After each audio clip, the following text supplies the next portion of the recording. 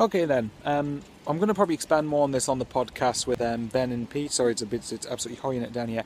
I will quickly just give my brief reaction um, to the day's news. Um, Defoe's left. We all know how I feel about that. I still think it's. I'm infuriated that he's going for free, but nevertheless, it's happened. Can't do anything about it. Borini. um, don't know about that one. I still think he's better than what he showed last season, even though I know a vast majority at this point will disagree with us. But I do think he can offer more than what he showed last year. Um, personally, I'd quite like it just to be a season on loan to try and get him to come back.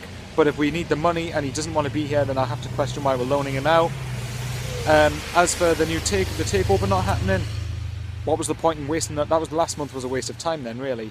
So, but anyways, it doesn't matter. We can't do anything about it now. And as for Simon Grayson, get behind him hopefully, fingers crossed, he'll have better players to work with than he did at Preston. And I think Pre- Sunderland is a step up from Preston. Good luck for the season, by the way, Preston fans. Um, we know how it feels to have a manager. Someone said in the comments responding to Preston's tweet that Grayson's become our manager.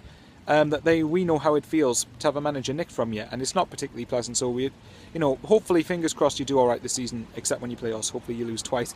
But um, I'm, I'm Preston. If, if Grayson can get a good attitude back towards the players and get them properly trying consistently, and we get a couple of match winners, then I don't see any reason why we can't be in the top six. Saying that, like I said before, I don't think we will go back up because I do think there's too much to sort out.